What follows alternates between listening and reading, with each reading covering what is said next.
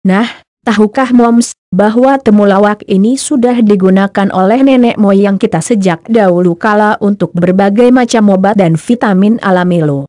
Tumbuhan ini yaitu temulawak bahasa latinnya Curcuma xanthorrhiza yang tergolong dalam suku temu-temuan, Zingibraceae.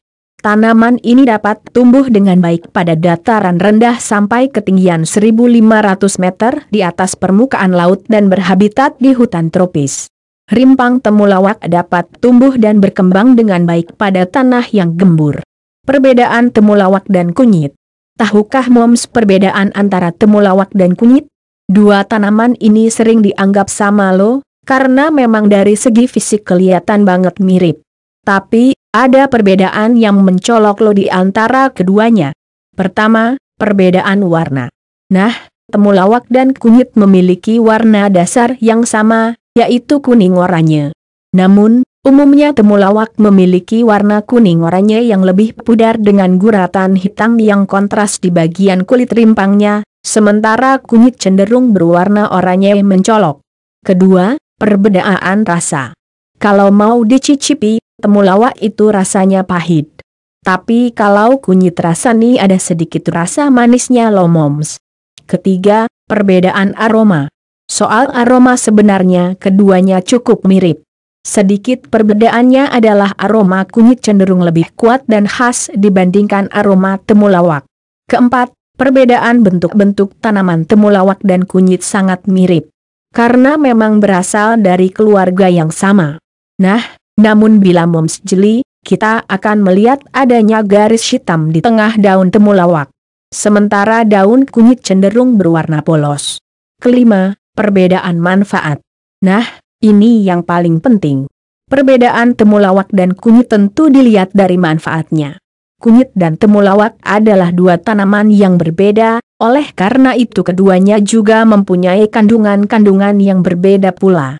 Dari perbedaan kandungan tersebut, maka mereka juga memiliki manfaat yang berbeda. Sebetulnya ada banyak manfaat temulawak dan kunyit yang bisa kita kupas, akan tetapi mungkin hal tersebut akan dibahas pada artikel berikutnya. Namun secara umum, yang menjadi perbedaan temulawak dan kunyit adalah temulawak cenderung bermanfaat sebagai obat herbal penambah nafsu makan sedangkan kunyit lebih bermanfaat untuk melancarkan organ sistem pencernaan. Mari dibaca di bawah ini beberapa khasiat ajaib dari temulawak. Khasiat temulawak untuk kesehatan. MOMS, berdasarkan penelitian yang dimuat dalam Jurnal Ilmu Pertanian Indonesia, maka diperoleh kesimpulan tentang khasiat temulawak untuk kesehatan.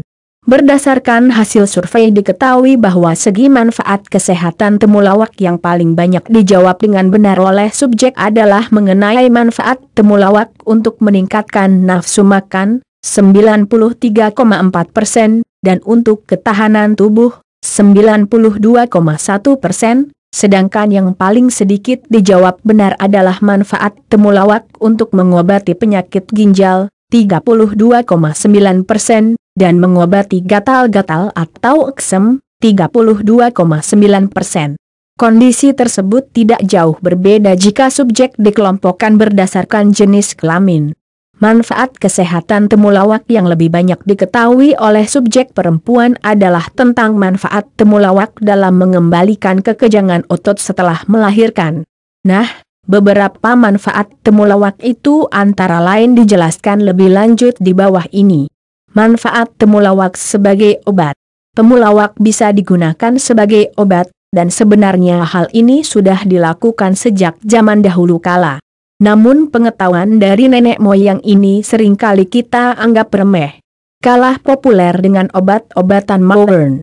Padahal ya moms, kalau momi tahu, manfaat temulawak sebagai obat ini dipercaya lebih alami, lebih aman dan lebih ampuh untuk mengobati beberapa penyakit. Atau bisa juga untuk menjadi vitamin penambah nafsu makan anak. Kalau moms pengen tahu lebih lanjut, yuk kita bahas lebih lanjut soal di atas YAA. Manfaat untuk lambung temulawak sangat bermanfaat untuk lambung lo. Rimpang temulawak dapat digunakan sebagai obat antioksidan. Aktivitas tersebut disebabkan karena adanya senyawa flavonoid, fenol serta kurkumin, Jaya Prakas H. et al., 2006.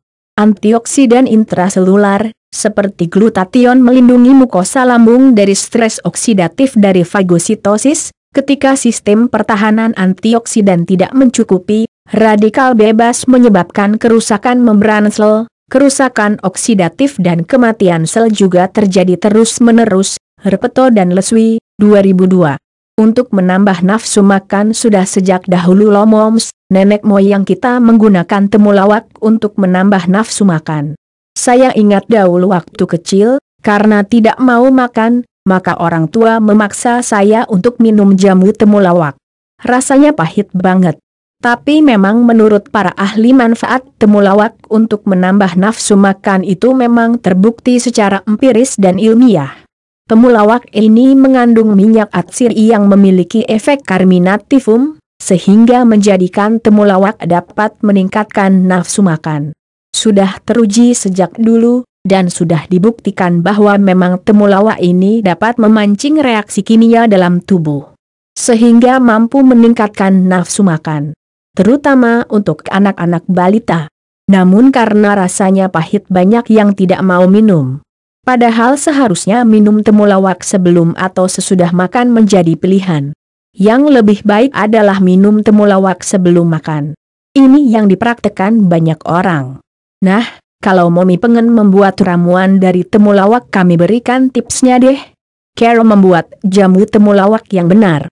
Untuk membuat ramuan tradisional penambah nafsu makan anak dari bahan baku temulawak, maka ada beberapa langkah yang bisa Mumi tempuh di bawah ini. Carol membuat ramuan temulawak untuk mengatasi sembilan masalah kesehatan ini bisa dilakukan hanya dalam waktu 10 menit saja kok. Disimak YAA. Carol membuat jamu temulawak untuk menambah nafsu makan. Siapkan 25 gram temulawak, 10 gram asam jawa, dan gula merah secukupnya. Cuci temulawak hingga bersih dan kupas kulitnya. Memarkan temulawak hingga pecah, jangan tumbuk sampai halus. Masukkan temulawak yang sudah dihancurkan tadi bersama dua bahan lainnya ke dalam panci bersama 600 ml air putih. Rebus ke semua bahan tadi hingga rebusannya tinggal tersisa sekitar setengahnya saja. Tunggu sampai dingin, saring, lalu minum secara teratur. Carol membuat ramuan temulawak untuk mengobati maak. Kandungan serbuk rimpang ternyata mempunyai khasiat untuk memperbaiki dan menetralkan produksi asam lambung. Bahkan maak akut sekalipun akan berangsur-angsur sembuh jika kita telatan meminum air sari temulawak. Carrot pengolahan. Siapkan satu rimpang temulawak. Cuci sampai bersih lalu kelupas kulitnya. Iris temulawak tipis-tipis. Rebus dengan 5 gelas air putih. Tunggu sampai mendidih. Minum teh temulawak ini secara teratur paling tidak satu gelas per hari. Anda juga bisa menambahkan madu secukupnya pada teh temulawak yang sudah dingin. Carol membuat ramuan temulawak untuk menjaga kesehatan hati. Rimpang temulawak memiliki efek hepatoprotektor yaitu sebagai detoksin, anti racun, pada organ hati manusia. Carrot pengolahan Siapkan 15-20 gram temulawak. Cuci hingga bersih lalu parut sampai halus. Campurkan sedikit air dalam ampas temulawak. Peras ampas temulawak sampai keluar air sarinya. Tambahkan 400 ml air putih. Rebus air sari temulawak hingga mendidih. Tunggu sampai dingin dan minum sehari satu kali. Carol membuat ramuan temulawak untuk memperbanyak produksi ASI. Temulawak ternyata bisa juga lomoms, digunakan untuk menambah produksi ASI. Ini tentu menjadi kabar gembira bagi para ibu yang mengalami kesulitan dalam produksi ASI. Care pengolahan. Siapkan 7-10 jari temulawak dan tepung sagu secukupnya. Cuci temulawak sampai bersih lalu kelupas kulitnya. Paru temulawak sampai benar-benar halus. Campur sari temulawak ini dengan tepung sagu. Tunangkan air panas secukupnya lalu aduk hingga menjadi bubur. Konsumsi bubur temulawak ini secara rutin, Anda juga bisa menambahkannya dengan gula merah sesuai selera. Carol membuat ramuan temulawak untuk menghilangkan jerawat. Jerawat memang menjadi musuh bagi para wanita. Dan jerawat bisa dialami oleh semua orang. Ternyata temulawak bisa lo moms untuk menghilangkan jerawat. Memang ajaib ya tanaman yang tumbuh di Indonesia ini. Gimana caranya? Care pengolahan. Siapkan satu jari rimpang temulawak. Cuci temulawak sampai bersih lalu memarkan. Rebus dalam 4 gelas air putih. Tunggu hingga mendidih sampai air rebusan tinggal tersesa setengahnya. Tunggu sampai dingin dan minum dua kali sehari satu gelas. Carol membuat ramuan temulawak untuk mengatasi gangguan ginjal. Kalau moms punya gangguan ginjal, maka temulawak ini bisa juga lo bermanfaat untuk mengatasi gangguan ginjal. Simak nih caranya. Care pengolahan. Siapkan dua rimpang temulawak, satu genggam daun kumis kucing yang masih segar, satu genggam daun kaca beling, meniran, segar, dan gula merah, gula jawa, secukupnya. Cuci semua bahan kecuali gula merah sampai bersih. Kupas rimpang temulawak lalu iris tipis-tipis. Masukkan semua bahan dalam panci. Rebus semua bahan dalam satu liter air. Tunggu hingga air mendidih sampai air yang tersisa tinggal setengahnya saja. Saring air rebusan dari ampasnya. Tunggu sampai dingin dan minum satu gelas sehari. Carol membuat ramuan temulawak untuk pengobatan penyakit hepatitis B. Hepatitis B merupakan salah satu penyakit yang berbahaya dan bisa menular. Memang sakit ini sangat merusak dan bisa mematikan. Dan tahukah moms, ternyata temulawak pun bisa digunakan untuk pengobatan hepatitis B ini loh. Care pengolahan. Siapkan 10 gram rimpang temulawak, 7 gram kunyit, 10 gram daun sambiloto kering, dan 40 gram alang-alang. Cuci semua bahan tadi sampai bersih memarkan temulawak dan kunyit, lalu rebus dalam satu liter air bersama daun sambiloto dan alang-alang. Tunggu sampai mendidih dan hanya menyisakan setengah bagian airnya saja. Tunggu sampai kering, saring, lalu minum dua kali sehari satu slash dua gelas. Anda juga bisa menambahkan madu atau gula merah untuk menghilangkan rasa pahit. Disarankan untuk menambahkan madu saat minuman sudah dingin. Demikian ya moms, info dari kami tentang manfaat temulawak. Nah, kalau momi ingin memberikan temulawak untuk anak yang susah makan tapi khawatir si kecil gak doyan karena rasanya pahit, momi bisa gunakan vitamin penambah nafsu makan anak yang terbuat dari bahan alami dan salah satunya ada ekstrak temulawaknya. Semoga bermanfaat.